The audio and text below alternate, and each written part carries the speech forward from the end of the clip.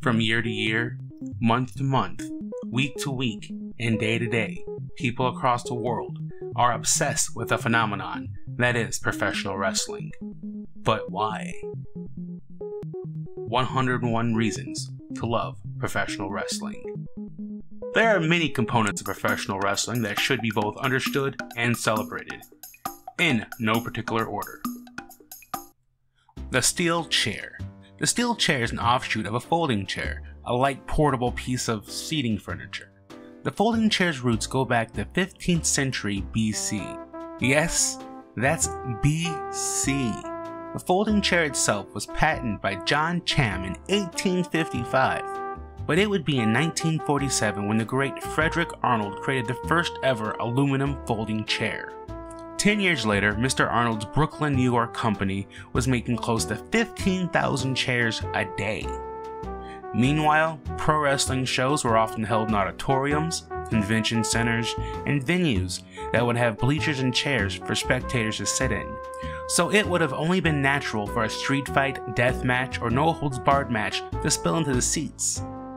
Brawlers like the Funk Brothers, who were outstanding grapplers in their own right, took it upon themselves to take the fan seats back, since their fans were often only using the edge of them anyway.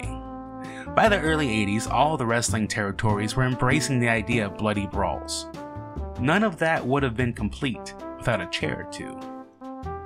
The use of this foreign object has often been reserved for the most hated of rivals and the most desperate of situations.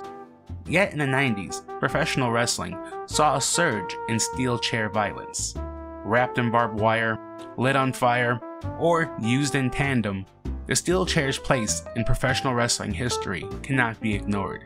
Everyone was swinging chairs. Everyone was taking heads off. Everyone was crushing skulls. Really, everyone. Okay, maybe one guy didn't. Oh, nope, he did too. Times have changed since these brutal attacks of interior design. Thanks to advancements in science and medicine, it is now frowned upon to swing a chair at someone's skull.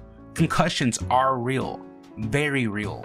This doesn't mean it doesn't happen, but when it does, it's met with controversy. And this also doesn't mean that steel chairs' best days are over. Not at all. The steel chair is now used more for attacks to the back and other more creative moves, but still, it's the C in TLC for a reason. When you are in need of a place to sit, you don't have a lot of room, and comfort is nowhere near the top of your priority list, then the steel chair is your friend. However, that's not always the case in professional wrestling.